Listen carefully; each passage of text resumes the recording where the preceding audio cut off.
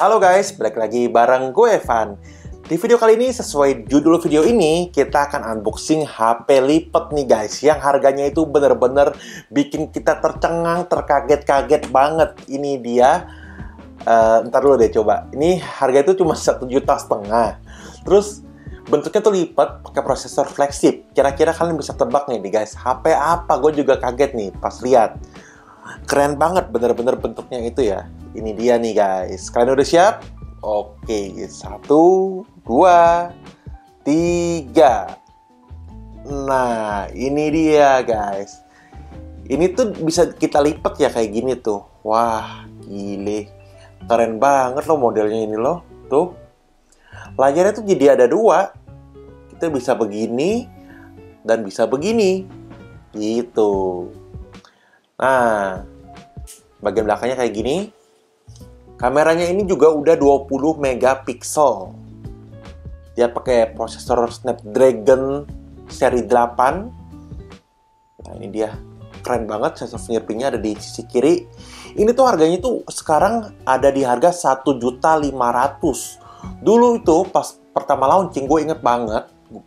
Ini tuh harganya uh, hampir 15 juta ya, 14 jutaan gitu ya. Gue inget banget dan ini sekarang tuh udah bisa kita dapetin di harga yang benar-benar murah banget. Nah, jadi ini dia namanya ZTE Axon M. Nah, ini ada logo M-nya ya. Langsung aja nih kita jalanin si ZTE Axon M. Sebenarnya sih namanya ZTE Axon aja. Ini ada M, ntar gue jelasin kenapa ada uh, embel-embel M di belakangnya. Nah, ini tuh unit yang gue dapetin ini adalah unit dari operator dari Jepang NTT Docomo. Dan ini tuh kondisinya masih oke okay banget masih mulus banget apalagi bagian belakangnya nih. Masih benar-benar kinclong kinyis-kinyis kayak baru banget. Nah ini dia. CTE M. Oke. Kita tutup dulu. Jadi dia tuh layarnya ada dua di bagian sininya bagian satunya tuh 5,2 inch, bagian satunya lagi juga sama 5,2 inch dan udah punya proteksi Gorilla Glass 5.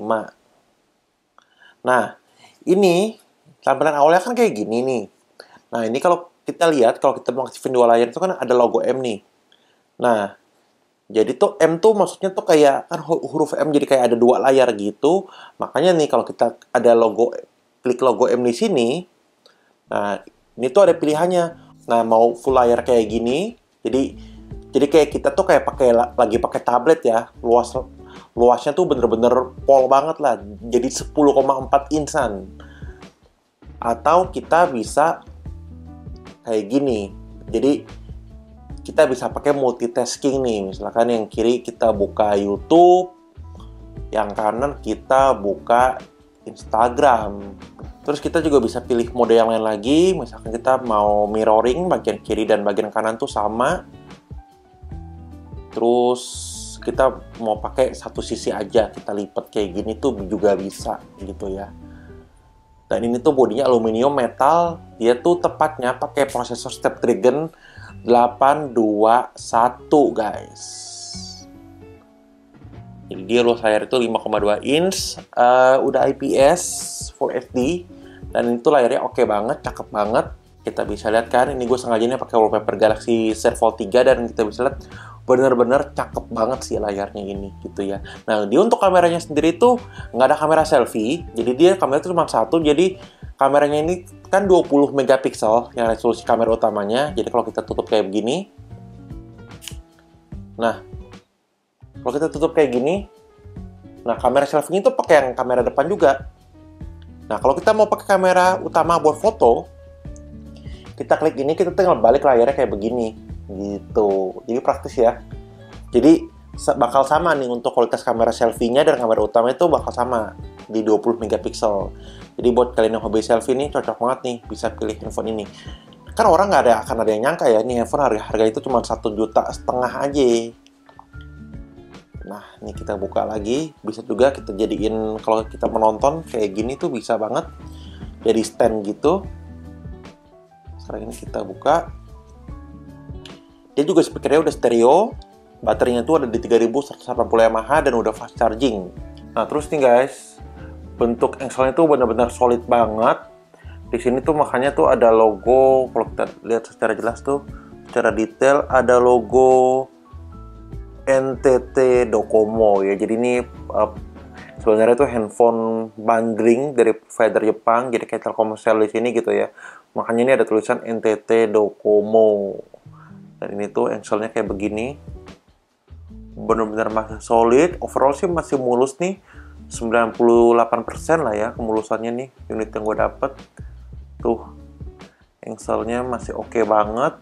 Terus kalau kita ininya masih oke okay, bezel-bezelnya nih tombol ada side nih buat tombol kamera tombol fingerprint tombol volume. Ini kalau kita buka nih kayak begini. Nah tuh. Bagian belakangnya kan dari metal nih itu masih bersih banget masih kayak baru banget sih. Gue aja ragu nih kayaknya ini handphone baru apa handphone bekas ya? Kayaknya ini handphone baru deh karena masih mulus banget tuh guys jadi dia unik karena layarnya ada dua uh, di sini tuh tebal di sininya tipis nih buat layarnya tuh Nah, kita coba ke menu kameranya. Oke. Nah, ini dia kalau selfie nih kayak gini nih. Coba kita tutup nih. Biar lebih simple. Nah, coba kalau ini ada, ada mode beautify, video, videonya tuh bisa sampai di 4K loh. Coba nih gua atur dulu. Tuh, videonya bisa sampai di 4K loh guys. Gila ya. Harga satu juta setengah loh ini. Nggak main-main loh. Di 4K. Ada mode beautify. Dan ini juga ini banget nih. Tuh, ada LED flash di bagian depannya. Karena kan ini kan cuma satu kamera ya. Jadi uh, mau kita mau selfie atau mau pakai jepret pakai kamera utama tetap pakai lensa yang ini tinggal diputar doang oke tuh. ini tuh solid banget kayak handphone belasan juta sih rasanya ini. Tuh guys. Keren banget ya gile. Cakep banget loh ini. Harganya cuma satu setengah juta dan ini kita coba ke bagian setting karena gue juga baru dapat nih unitnya. Ini dia tuh masih ada di Android 8 Android Oreo. Jadi mentoknya tuh di Android Oreo. Tapi ya dengan harga satu juta setengah nih ya.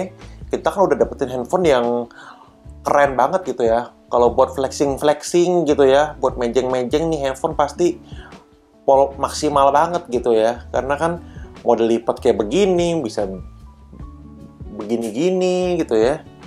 Harganya cuman 1,5 juta. Dapetin di mana lagi coba handphone kayak gini kan? Bener-bener oke okay banget. Nah ini dia tuh RAM-nya 4 GB memori internal 64 GB terus uh, apa lagi? Luas layarnya ini dia 5,2 inch. Terus kalau kita nonton Netflix gitu ya. Nonton Netflix kita bisa kayak gini. Nah kita bisa pilih deh. Jadi gede banget kan layarnya nih. Ini iPhone satu juta setengah kayak gini nih. Mantul banget nih. Tuh juga begini. Tuh. Tuh atau bisa juga begini. Jadi kan enak banget nih buat kalian yang hobi nonton nih ini oke okay banget tuh layarnya tuh cakep banget sih guys. Dengan harga setengah juta kalian dapetin handphone kayak begini. Untuk link pembeliannya gua pas taruh di deskripsi di video ini ya gua taruh buat kalian nih yang mau beli. Karena uh, dari kemarin banyak penasaran banget nih. Teman-teman gue juga penasaran gue beli di mana nah ini untuk speakernya juga udah tuh wih keren banget ini handphone satu juta setengah loh nggak main-main loh layarnya loh kayak Galaxy Z Fold nah dia ini untuk uh, apanya speakernya juga udah stereo bagian bawah Nah, tapi uh, yang speaker tuh yang ini aja, stereonya satu lagi di bagian depan, karena sisi kirinya satu lagi nih uh, mic ya. Terus dia juga ada USB-C. Terus udah 4G juga pastinya. Dan ya ini handphone yang benar-benar oke okay banget gitu ya. Walaupun uh, RAM-nya belum gitu gede, masih yang 3 tapi ya masih smooth banget sih, masih oke okay banget gitu ya. Masih enak banget. Jadi buat kalian yang mau beli si ZTE Axon ini nih, karena unitnya juga terbatas, kalian bisa langsung aja beli di link deskripsi yang gue taruh nih. Kalian bisa beli di link itu ya, karena juga nggak banyak nih yang jual handphone ini mantep banget nih dengan harga satu juta lima ratus kita bisa flexing flexing. Kita bisa uh, gaya gitu ya. Plugin kan udah mau lebaran nih. Ini cocok banget sih. Oke guys. Jadi sekian dulu mungkin ya untuk video kali ini nih. Kalau kalian ada pertanyaan kalian bisa sampaikan aja di kolom komentar di video ini gitu ya. Jadi sekian untuk video kali ini. Jangan lupa klik like dan subscribe channel youtube Gadgetpedia dan kita ketemu lagi di video selanjutnya. Thank you guys. Wih, mantap banget nih. Wih. Murah banget.